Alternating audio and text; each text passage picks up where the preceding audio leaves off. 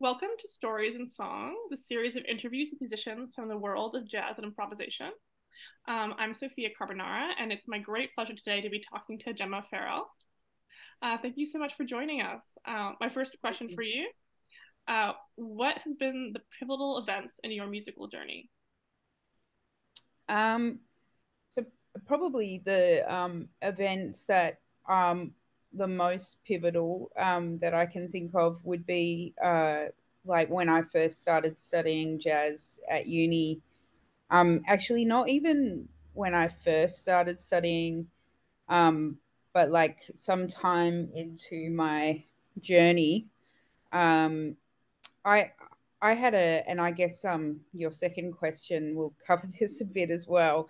I had a bit of a hard time um here in Perth um, when I when I first sort of was trying to come onto the scene. Um, there weren't many girls, and um, yeah, I had a I had a, I, it felt like I had a lot of um, lecturers telling me how I should sound without telling me how to actually improve and and what to work on and so I was sort of just practicing completely like with no idea. Um, yeah, so um, sort of frustrated with that. I um, I went to I, I took a trip to Sydney and got some lessons with Sandy Evans, and um, that was a time where I was like, oh, yeah, I was really just not sure if I should give up my instrument. I I I never really wanted to give up, but I was sort of thinking like, oh, I'll have some time off, I'll practice, and then I'll come back to it. Um, and yeah, Sandy was like, no, no, no, I, I think you should keep going. I think you, I think you should um look, like I, I said, oh, another option that I considered was studying elsewhere. And um, she was like, yeah, you should 100% do that. And I um, I moved to um, so from talking to Sandy, I, I um, and from her encouraging me to keep going, I um, contacted some other universities on the eastern side of Australia. I uh, I um, I moved to I ended up moving to Brisbane, um, where they had Louise Denson running the jazz department there. Um, yeah, and she is still like she and Sandy um, like quite big heroes of mine and and and people who really encouraged me and are just great jazz musicians and I also had Graham Norris there as a saxophone teacher and he he was a really great saxophone teacher. He was sort of the first person to be like this is what a 251 is and here's some licks and like you should check out this person's playing and and was like yeah it was the first I, I sort of I don't even know if now I'd say I get jazz. well, like I get jazz. I well, that's I like jazz a lot. Um, but in terms of like I, I am far from having mastered it, and I don't know if anyone ever feels like they've mastered it. Um, but um, yeah, uh, I I um, he was sort of the first person to show me what it's all about and and yeah what to work on and i really needed that. Um so yeah moving to brisbane um meeting sandy and then from um after my time in brisbane i moved to holland um to do a master's and i i sort of uh thought that uh you know it would be the the lecturers would be absolutely incredible um, when, when, the truth of it was that um, a lot of them were really old and over teaching and um, and but what was cool about um, being in Amsterdam was that uh, there were so many different people from all over the world.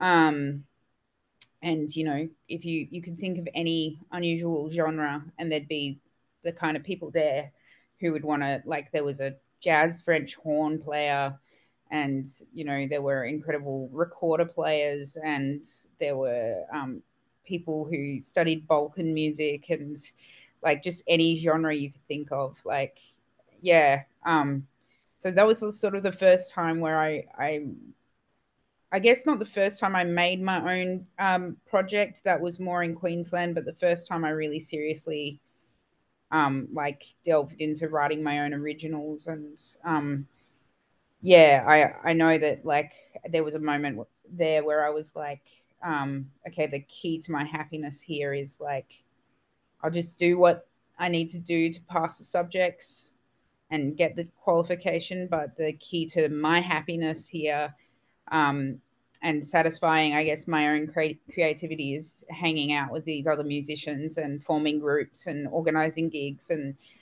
um, that was the first time that I really got into that, which is something that I do all the time now. So, yeah, that was pretty important for my development. Beautiful, so much um, movement, inter- intercontinental and cross continental. And some of the, some of your answer relates to this, but leads to the second question: uh, What obstacles have you had to overcome during your musical life, and how have you dealt with them? Yeah, so um, yeah, I sort of mentioned what I went through uh, early in my development. Um, yeah, I I had um, some of the teachers I dealt with have have since been fired for good reason.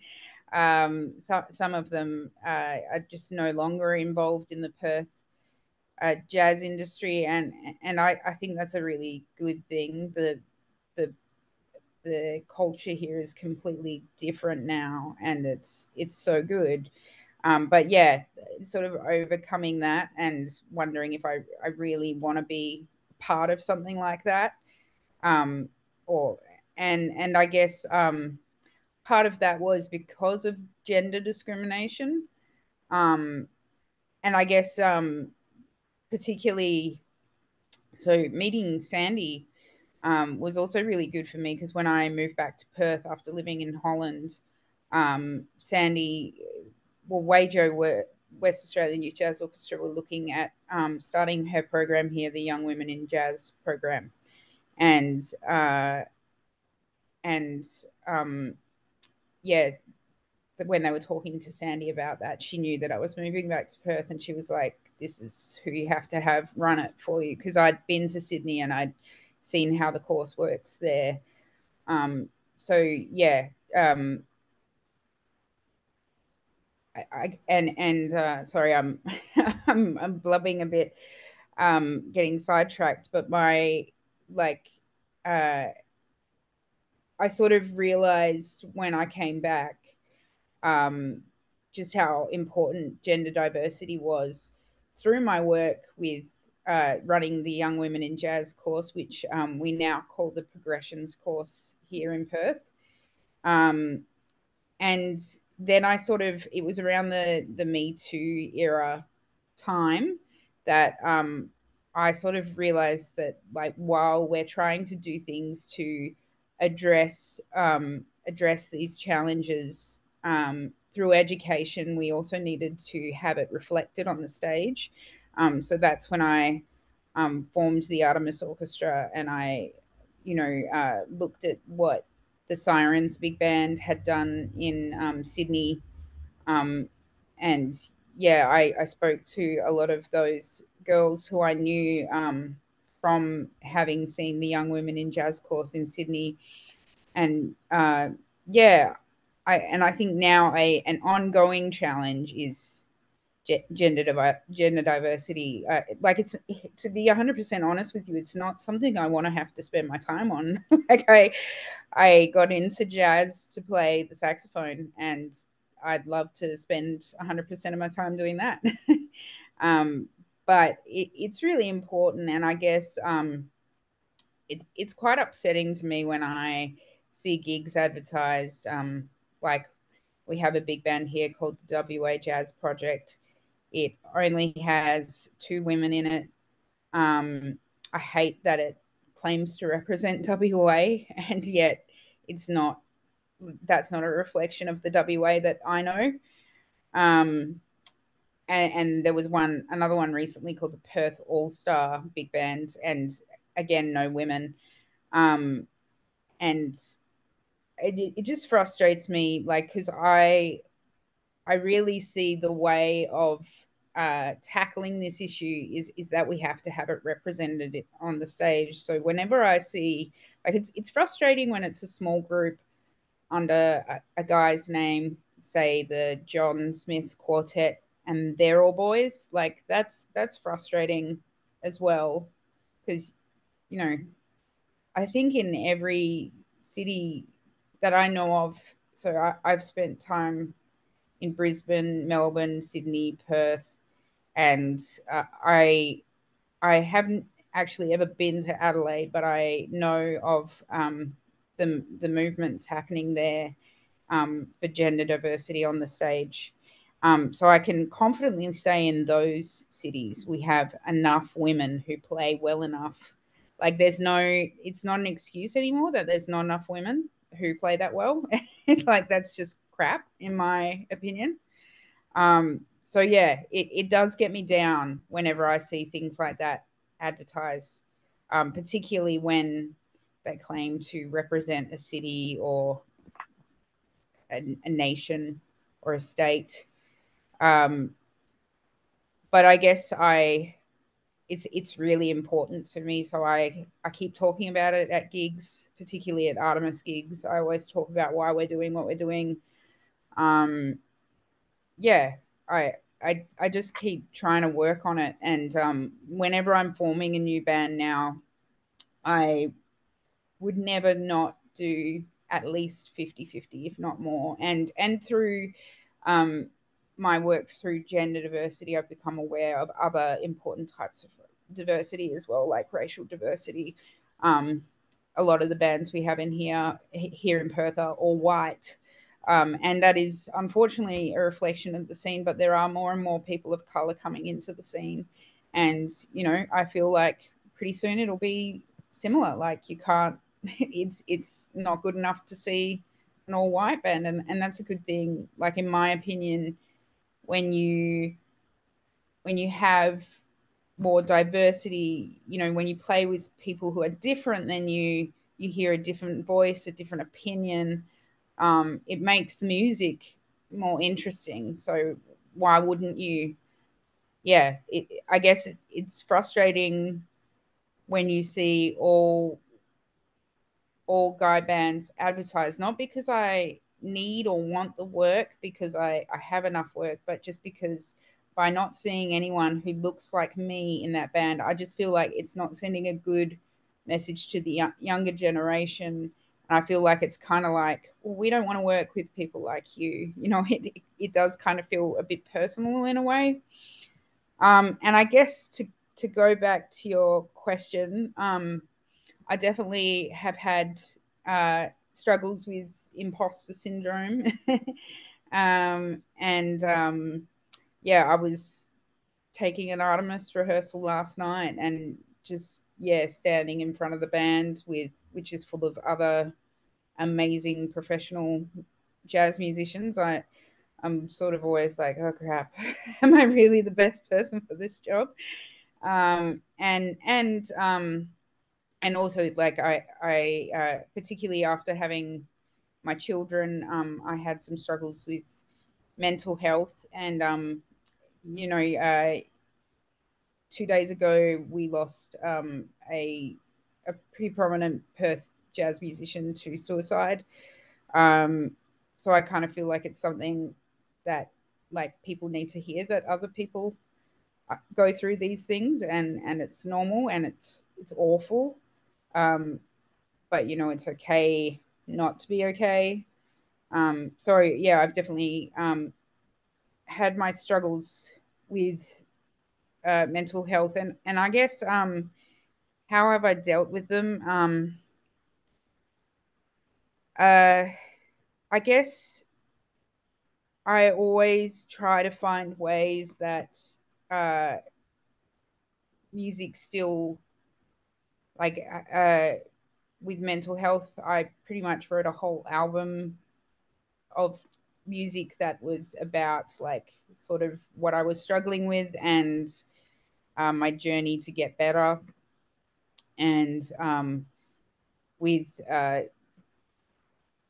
yeah, gender diversity. My my answer was to form the Artemis Orchestra, and my answer when I get frustrated with these bands is to just keep doing the opposite and keep talking about it and hope that, you know, I, I feel like if it just makes one person feel better or um or one um or or like one girl go like oh i am welcome in the jazz scene then it's worth it. And um i guess with um yeah I, I always try and listen to my favorite musicians um find people to look up to um you know, my answer when I was struggling back in uni was to find Sandy. It was sort of I, I, I didn't really know her music. Um, I, I was sort of just like, I know there's this amazing female saxophone player in Perth. I've got to find her. I've got to have it. Sorry, not in Perth, in Australia. I've got to find her. I've got to have lessons with her. And um, yeah, and she was an incredible, or is an incredible person and musician. And yeah, I, I hope that somewhat answers the question. Absolutely. Yeah. And you mentioned the younger generation. I guess my next question is do you have a motto or a personal philosophy that guides you? Or what advice would you share with younger musicians?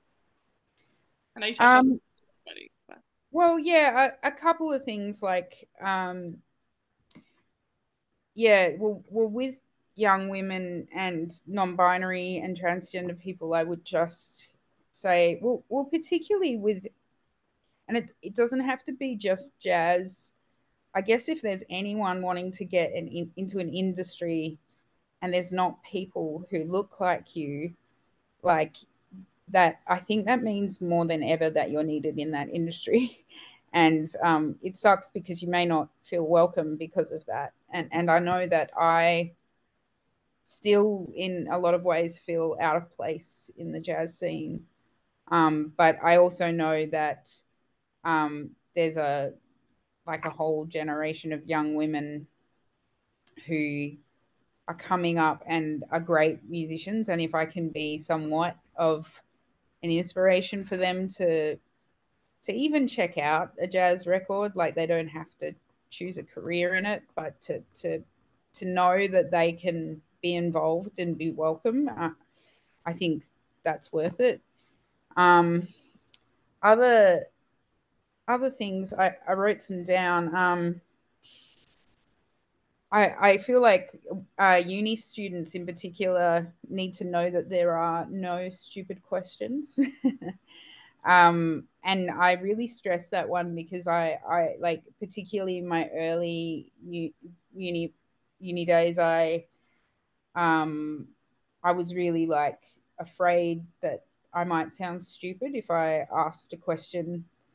Like I remember very clearly my um, my saxophone teacher saying like outline the sixths more and just having no clue whatever what that meant. Like and and like I wish I had have said what does that mean because that would have showed him like oh okay well she must sounds like she knows a bit because she's checked out a bit of jazz, but she actually doesn't know what she's doing.